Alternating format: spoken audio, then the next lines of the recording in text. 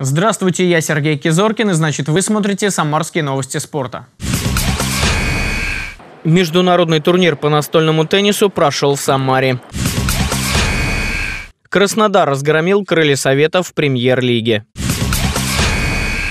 Крылья Советов потерпели очередное поражение в премьер-лиге, на этот раз от Краснодара с разгромным счетом 0-4. В начале встречи ничего не предвещало беды, команды играли на равных, хотя первый тайм Краснодар все-таки выиграл 1-0.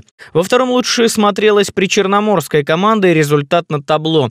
Три безответных мяча побывали в воротах Советов, дублем отметился Мамаев. После такой игры крылья остановились на девятом месте национального чемпионата. Мы играли против очень хорошей команды. Наша игра была плохая, но это не от того, что мы не хотели, мы не смогли. Нам надо вернуть уверенность в себе, нам надо забивать. Мы знаем, что можем играть намного лучше. Самаре прошел четвертый международный турнир по настольному теннису на призы губернатора. 12 команд из разных регионов страны, Казахстана и Китая боролись за главный трофей соревнований. Основные соперники – сборные Самары и китайская команда. В итоге гости завоевали бронзовые награды. Борьба была сложной, самарские соперники были хорошо подготовлены, я старался как мог, мне повезло.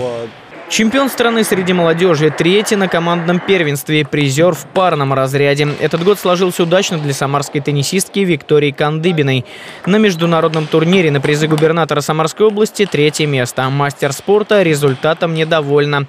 До этого она два раза становилась первой. Я играла плохо, не настроилась, наверное, игру, потому что в тот раз выиграл, думаю, и сейчас так будет. Мастерство у ребят растет. Я сравниваю первый турнир. Сейчас уже играют дети, приезжают, довольно-таки показывают э, неплохой настольный теннис.